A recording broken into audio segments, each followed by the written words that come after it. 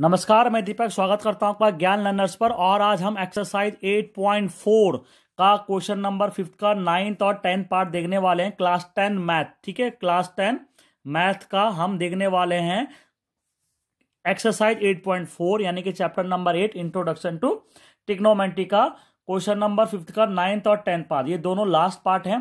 और बाकी की पार्ट हम बता चुके हैं। एक तरफ़ से एक एक पार्ट हमने बताया है। अगर आपको समझ में ना आया हो तो एक बार वो वीडियो आप दोबारा से ज़रूर देखें। और अगर आपको हमारी वीडियो लगातार पसंद आ रहे हैं तो प्लीज़ सब्सक्राइब कीजिएगा चैनल को और शेयर और लाइक करना मत भूलिएगा।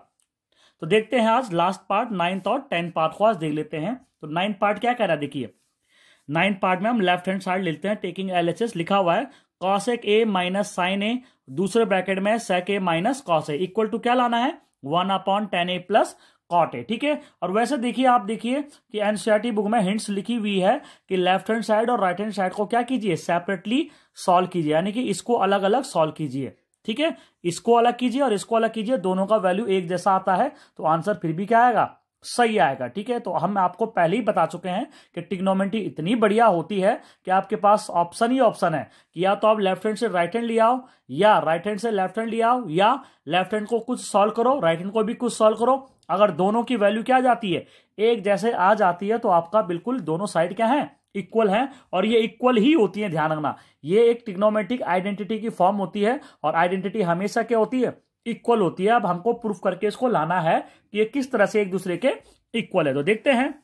लेफ़्ट हैंड साइड लेते हैं।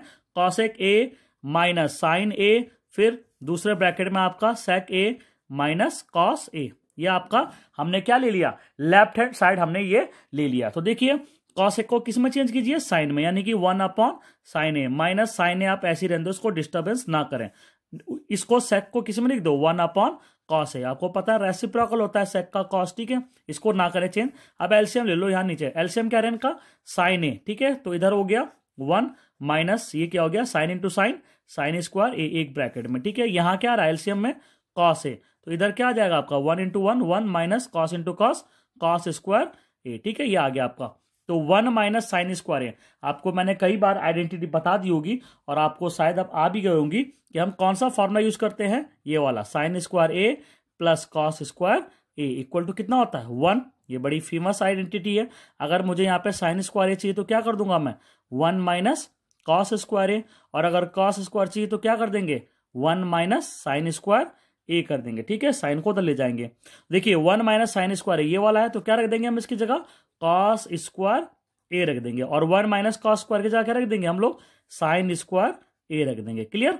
और अब पॉन में क्या चल रहा है? Sine A, cos A. Sine A और कॉस ए। देखिए, कॉस ए, एक पावर एक पावर कैंसिल। यहाँ दो पावर है ना?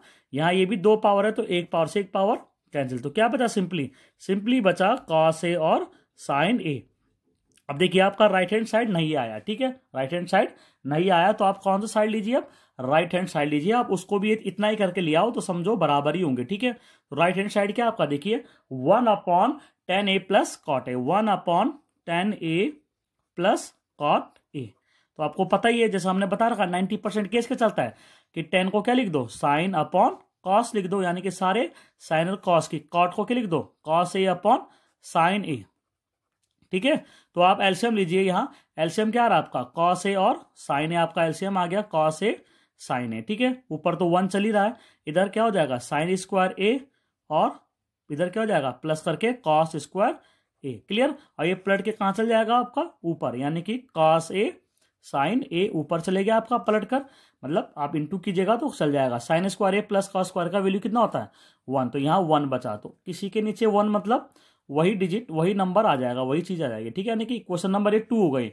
अब देखो क्वेश्चन नंबर वन क्या है? लेफ़्ट हैंड साइड को करके कितना आया? कॉस ए साइन है और राइट हैंड साइड को भी करके कितना आ गया? कॉस से साइन है तो हम बोल सकते हैं कहाँ से? From equation number one and equation number second से। क्या बोल सकते हैं? कि लेफ़्ट हैंड साइड किसके इक्वल है? राइट हैंड साइड के इक्वल है। ठीक है तो इस तरह से हमने ये नाइन्थ वाला पार्ट इसका सॉल्व किया। और अगर आपको समझ में ना आ रहा हो तो एक बार दोबारा आप वीडियो देखिए और जहाँ पे भी दिक्कत आती है, एक बार पॉज करके उसको ढंग से देखिए कॉपी पेन लेके बैठिए, ठीक है आप? चलिए, और आप जल्द बैठते हैं हम क्वेश्चन नंबर टेंथ की तरफ़, ठीक है? इसकी तरफ़ बढ़ते हैं हम। अब देखिए यहाँ पे तीन तीन पार्ट है तो देखो आप left hand second left hand right hand नहीं बोल सकते हम, क्योंकि यहाँ पे तीन तीन चीज़ें देखो। ये इक्वल है इसके इक्वल है इसके तो इस तरह से यहाँ पे अब हम क्या नहीं बोल सकते हैं? लेफ़्ट हैंड राइट हैंड नहीं बोलना चाहिए अगर देखा जाए तो क्योंकि आप यहाँ पे तीन तीन पार्ट आपको दिख रहे होंगे कि तीन तीन पार्ट यहाँ पे सॉल्व किए हुए हैं, ठीक है? तो देखिए, इसको हम कैसे सॉल्व करते हैं? देखिए ये हमारे पास ए ये फ़र्स्ट टर्म मान लो, और इसे मान लीजिए आप कौन सा term that is a second term और ये आपका थर्ड टर्म हो गया, ठीक है? तो देखते हैं, इसको करके देखते हैं हम। पहले हम फ़र्स्ट टर्म को करके देखते हैं।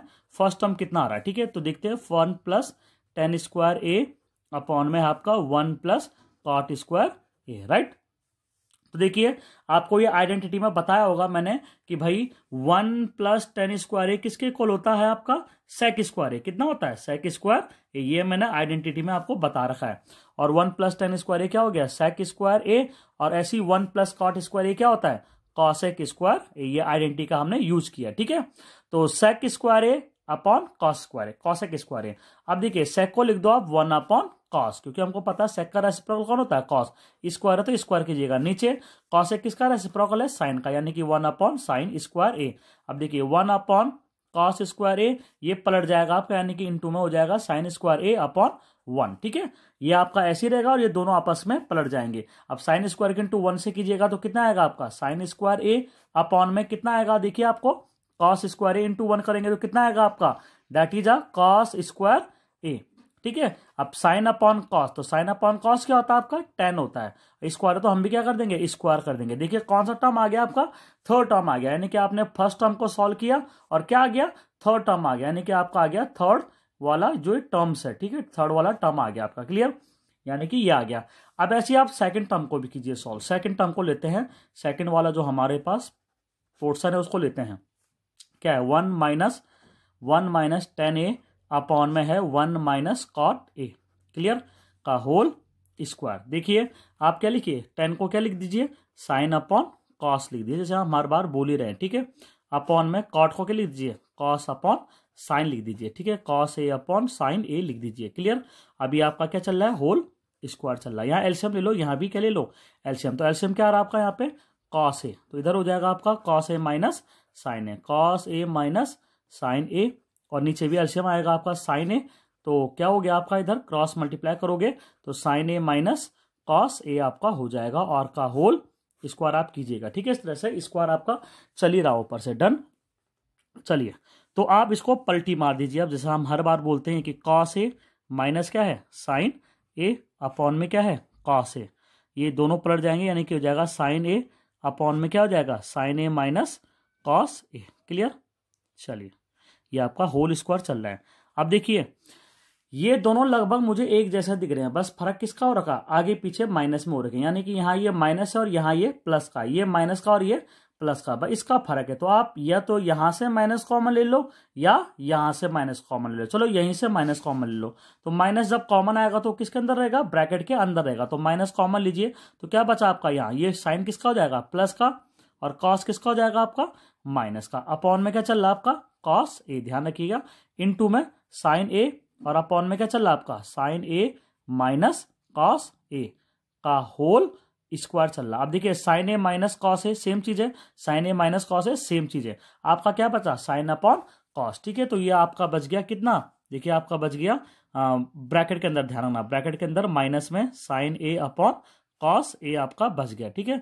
का होल स्क्वायर। और साइन अपॉन कॉस क्या होता है? आपका टेन स्क्वायर ए और माइनस का स्क्वायर तो क्या होता है? प्लस होता है। तो टेन स्क्वायर आ गया।